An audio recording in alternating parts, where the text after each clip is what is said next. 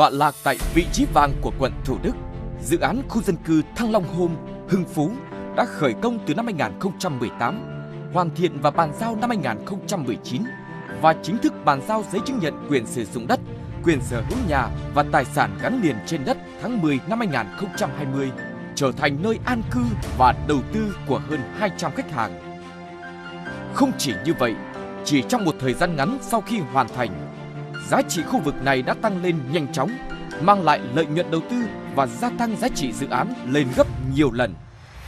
Tiếp nối thành công của dự án khu dân cư Thăng Long Home Hưng Phú,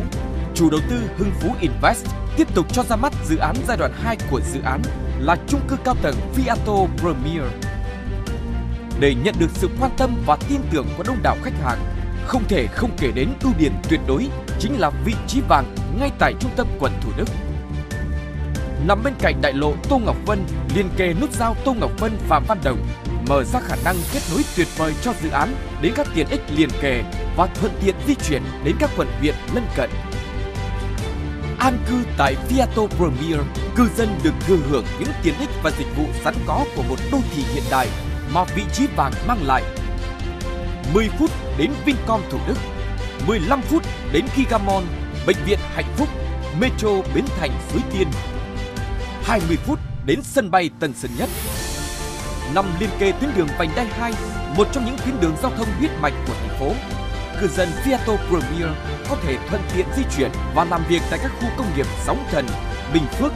Visit 1, thậm chí là các khu vực xa hơn như vòng xoay An Lạc, Phú Mỹ Hưng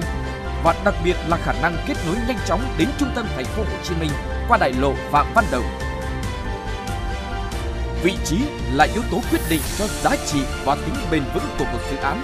bởi nó chịu ảnh hưởng của hạ tầng giao thông, an ninh, môi trường và cảnh quan.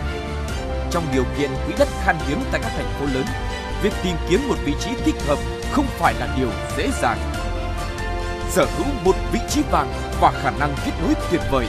Viato Premier tự tin mang đến cho khách hàng một cuộc sống tiện nghi, hiện đại, năng động trong một thành phố mới văn minh và tri thức.